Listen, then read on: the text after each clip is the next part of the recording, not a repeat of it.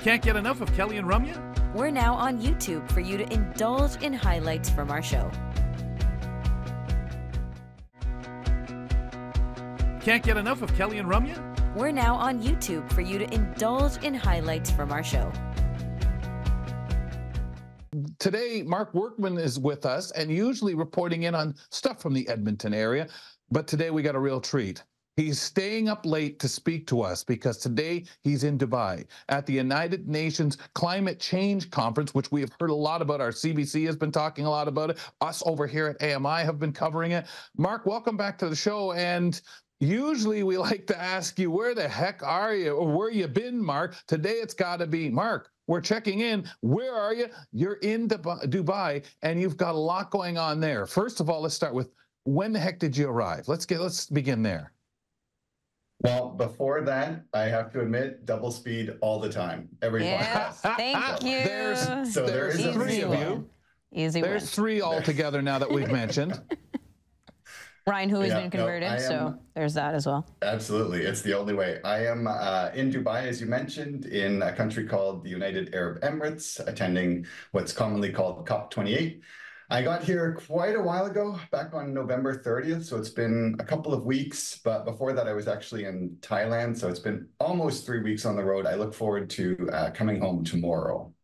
Wow. Oh my gosh. Okay. Well, we'll get into more of the details of what's going on there, especially how it impacts the disability world. But can you tell us a little bit about Dubai and uh, what the town has been like? If you've been able to get out and see, I'm not, I think you've been there before. Um, fill us in on those kind of details that all of us sit back and sounds cool. Oh, not so cool. Yeah.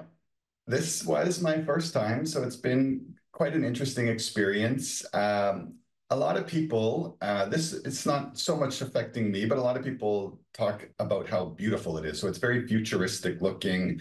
There's a lot of money in this uh, country, largely due to um, having a lot of oil, which is in high demand. Um, so it's really, I think, a beautiful city for visually speaking. Um, very uh, different kind of culture, though. It's predominantly, of course, Muslim city. So that means that you can regularly hear the call to prayer when you're out and about.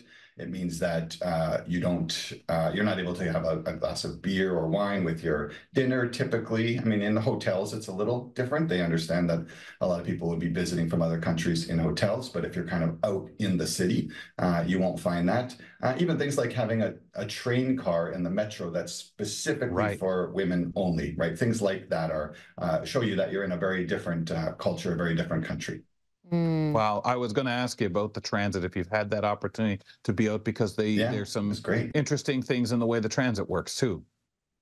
Yeah, yeah. Um, we we did take the metro just to experience it, kind of test out the accessibility. Uh, really, really impressed with it. It was very clean. Um, the the announcements were great. They're in English and Arabic. Uh, so really, really nice, uh, fast, speedy metro train. Awesome. Okay. All right, so yeah. we've all been hearing different stories about um, COP28, COP28, and uh, maybe some mixed feelings. So tell us about the disability side of things first, um, because we want to know what's been going on there and uh, if you have any particular ideas or feelings or perspectives or just information on people with disabilities around this conference.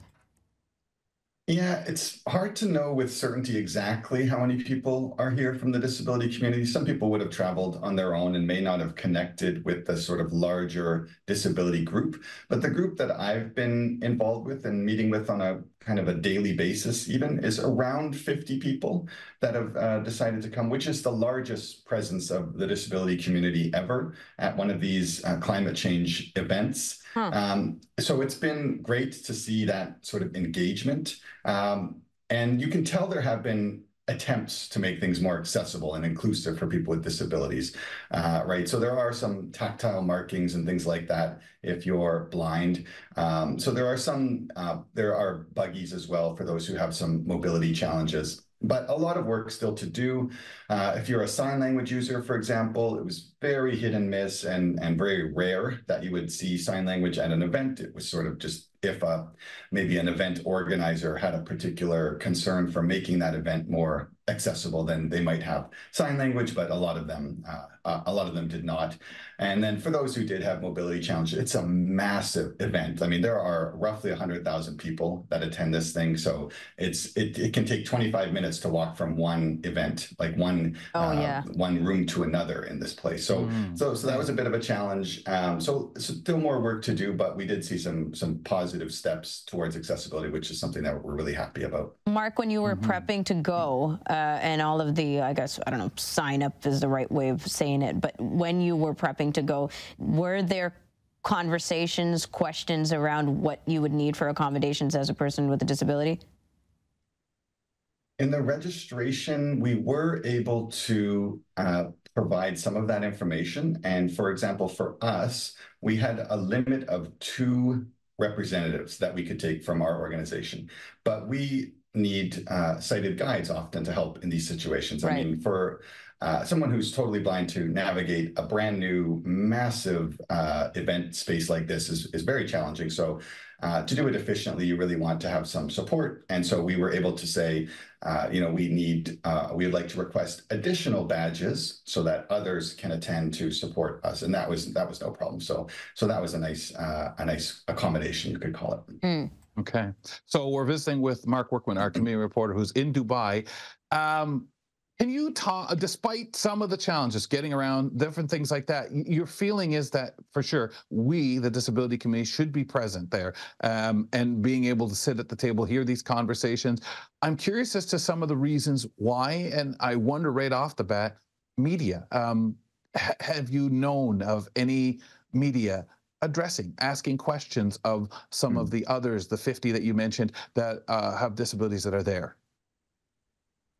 I mean, the main reason is just because as people with disabilities, as people on this planet, we're going to be affected by climate change and, and thus we're going to be impacted by the policies that come into place to deal with uh, the impact of climate change. So, so we really want to be at the table to make sure that our circumstances are taken into consideration when policies are being developed.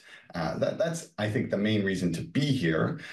For regarding media, we definitely we ourselves had some conversations with media. Uh, and one of the journalists said that she'd been to a number of these uh, COP events, and this was the largest disability group that she had seen. So we became more visible, which is great as well, uh, to, yeah. to just show people that we are here. We care about these issues and we're willing to take the time out of our lives to attend these events and make sure that our issues are being taken into consideration. We also, though, had to do a lot of asking questions ourselves. So mm. when we attended events um, and there's and unfortunately, there wasn't a ton of inclusion of people with disabilities in the events themselves, right, as panelists. Right. But yeah. when there was an opportunity to ask a question at the end, you can bet that those those 50 or so people that they were often putting their hands up, the first to put their hands up and asking questions. And it really did force the people on the stage to think about uh, things that they may not have thought about.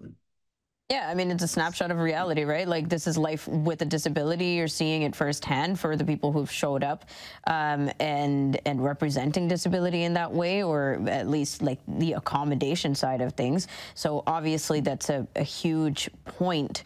Um, you mentioned climate change policies. So I think it would be helpful to understand the change uh, or the understanding of some of these issues better. So, what are the topics that were being discussed that people with disabilities are affected by? Can you help us understand some of the issues?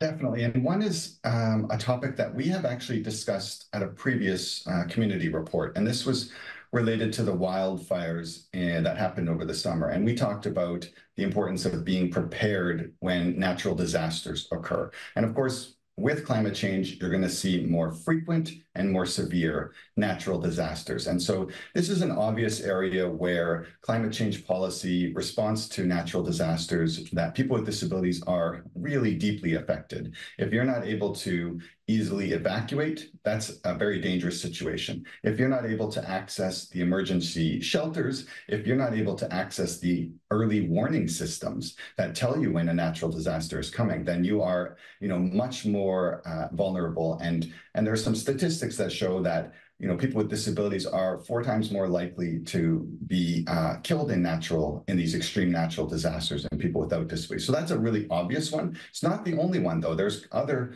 topics that we were talking about around adapting our environments for climate change. So we we may have to think about how we build cities differently, how we build buildings differently.